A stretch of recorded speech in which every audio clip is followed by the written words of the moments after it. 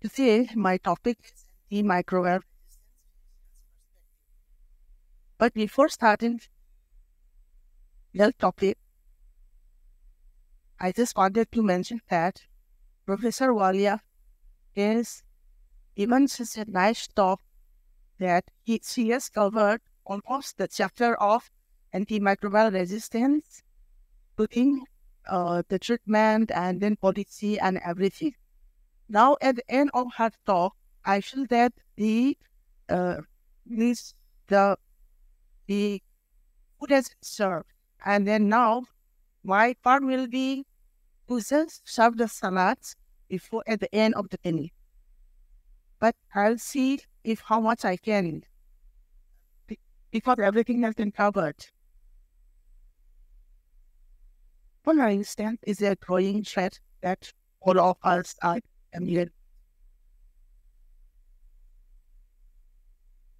So, then, so today, uh, the contents of my talk will include introduction, definition, factors, control strategies, and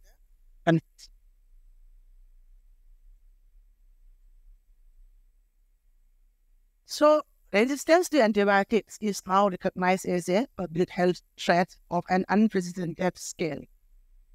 So resistance is responsible for millions of deaths worldwide and major health concern for the 21st century. And we are expecting about 10 million deaths annually by 2050. So an AMR threatens the effective prevention and the treatment of and even increasing range of infections caused by microbes. So, with this, the financial burden to the country and to the world is increased. See, the, on the side, I'm these are the some of the clippings published in the Times of India, where, where they have mentioned about the uh, alarming statistics of antimicrobial resistance. So how we see the antimicrobial resistance. What is it? The antimicrobial resistance is the ability of a microorganism to stop an antimicrobial from working against it. So these are the factors. These are again environmental factors, prescriber related factors, medicine related factors, and drug related factors. Environmental factors is one of the most important factors huge population and overcrowding. And then because of that, there is rapid spread. If there is any infection, the spread is very much rapid these days because of the better transport as we are seeing earlier in even in Manipur, we, we are not able to see dengue fever. But now we are seeing dengue, not because the mosquito is in here, but because the organisms are coming directly through infected individuals to this state. Again, poor sanitation, increase in community acquired resistance, in effective infection control program, and in widespread use of antibiotic in animal husbandry, agriculture, and uh, as medicated cleansing products.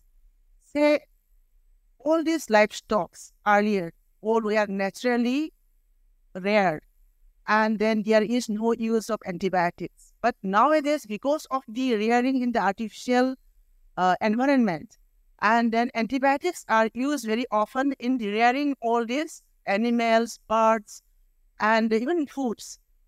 And so, the when these products are being taken by us, the chance of again inducing resistance to ourselves is high. Then this release of large quantities of antibiotics into the environment, luckily we don't have this uh, menace in our state. So this improper waste management by the pharmaceutical manufacturing units is, can be one of the factors for uh, antibiotic resistance. Drug-related factors, over-the-counter buying of the medicines. So the antimicrobials are easily is easily accessible to the patients.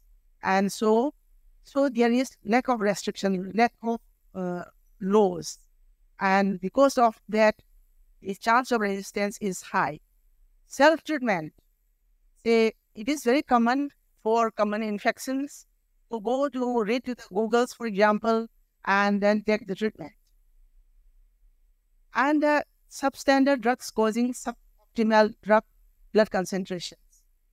Suboptimal drugs, any of the drugs are not properly uh, are not properly uh, standardized. And so many times patients are given substandard medicines because of that the blood concentration, minimal B3 concentration of the medicine is not achieved by these uh, antibiotics. And so the chance of having resistance is more. Irrational uh, fixed dose combination of antimicrobials, then increasing use of antimicrobials. Increasing use when the antibiotics are not indicated for many reasons, antibiotics are being used by the patients. And so these are again another uh, factor for the antibiotic resistance, development of antibiotic resistance. Patient-related factors, lack of education. It is one of the most important uh, factor in the causation of antibiotic resistance. By lack of education, patients will not have any idea how to take, when to take, and then what is the importance of the medicine, and then what are the dangers of not taking the medicine in, in, in, in a proper way. And so there will be poor adherence to dosage regime. Poverty is one when they will buy only a small antibiotic, they will instead of buying 15 or 20 tablets, they are going to buy only two tablets. When the symptoms are better, they will stop. And then, uh, and then here in India, especially, what happens? A prescription is being, you know, um, like passed from patient to patient, and then these prescriptions are being used for one similar complaint. If a patient is having fever, and then the other one in the neighbor will ask that patient, last time what you took, uh, then by what medicine you became all right. So the patient will show the prescription. Then he will copy that prescription and he will go to the uh, chemist and then buy the medicine and then he start using the medicine, whether this medicine will be suitable for that disease which he is suffering uh, or, or not, that he will not understand. This kind of rotation is very common uh, in India and also in Manipur. We see many patients you know, coming with that the same prescription is being circulated for many months. And so self-medication, going to the counter, buying medicine, self, and then lack of syndication concept. So education of in all the fields, in every every uh, uh, every component is very important. Prescriber related factors over prescription of antimicrobials, is especially common elements. Say, many, many times, antibiotics are given in common cold. Say, one, someone is suffering from just running nose, rhinorrhea, then patient will be given uh, antibiotics, azithromycin. Then sometimes not only oral, then will be started with ceftriaxone injection. This is a common, very common phenomenon, uh, common type of uh, treatment we see in many uh, many centers. It may not be in the uh, big hospitals, but especially in the centers, sub-centers, community centers, may not be by doctors or maybe by even by doctors when the training is less or maybe by the other health workers, health supporters. These type of giving antibiotics without any indication is common. And uh, patient's expectations. Sometimes the doctor feels that, okay, the patient has come with symptoms. And if I don't write antibiotics, what the patient will think? Or what, and if I don't write antibiotics, he or she may think thing, and so maybe he will go to another doctor. So I need take one antibiotic. So patients that sometimes doctors do satisfying patient's expectation, not to react or not to give the proper prescription, proper prescription to the patient. Increase empirical polymicrobial use. So broad-spectrum antibiotics using to cover. Okay, if the patient is coming with fever, then we give antibiotics which will cover all the infections, or typhoid, then pneumonia, and uh, if there is some pain, maybe colitis. So habit of using empirical polymicrobial, anti-polymicrobial is very uh, common. And so this is again one of the main causes for development of the anti antimicrobial resistance. Inadequate dosing is I also as I have mentioned already, uh, inadequate dosing.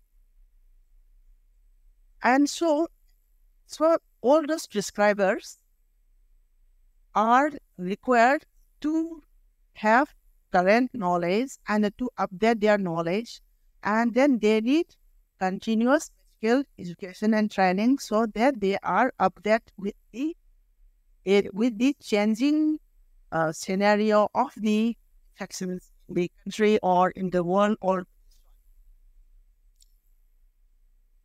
so this is a uh, resistance which we are going to see.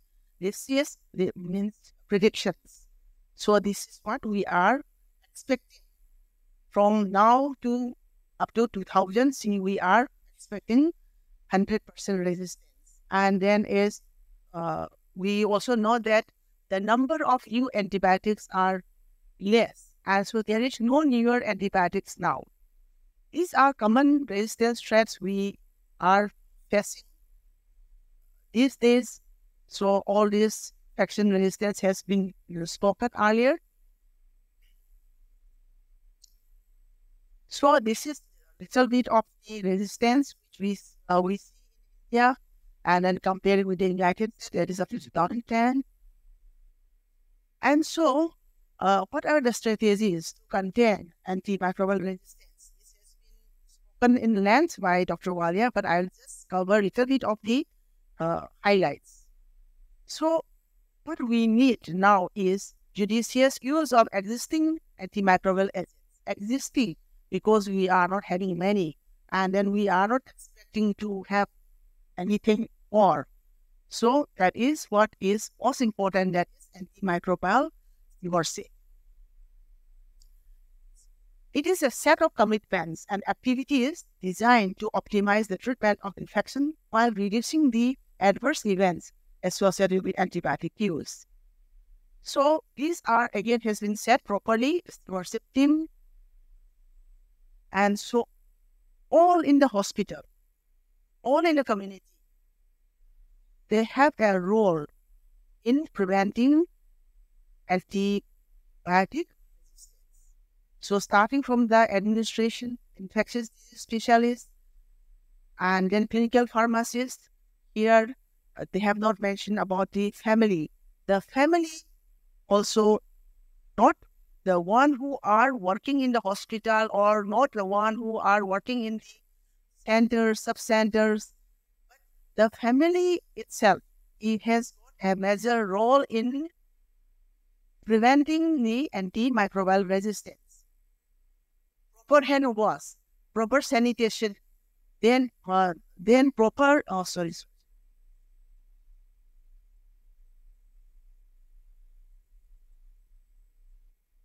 So proper sanitation, then to give the medicines time, to give the medicine in full course in those patients who are not admitted in the hospital. So the family has got a major uh, role. So everyone in the community has got a role in the prevention of antimicrobial resistance. This one has been spoken in land, and so uh, so to uh, conclude, I said Antimicrobial resistance is a serious global threat. Not all infections need antibiotic treatment. Narrow spectrum agents should be used whenever possible. Broad spectrum agents should not be used as a cover for lack of diagnostic precision. Antibiotics should be prescribed in optimal doses. Resins should be stopped when the infection is treated. And clinicians should be familiar with local antibiotics. Thank you.